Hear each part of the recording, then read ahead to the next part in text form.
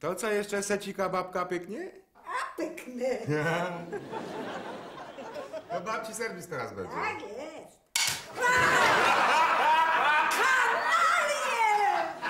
ja już jajecznicy z moich jajek to nawet sobie nie masz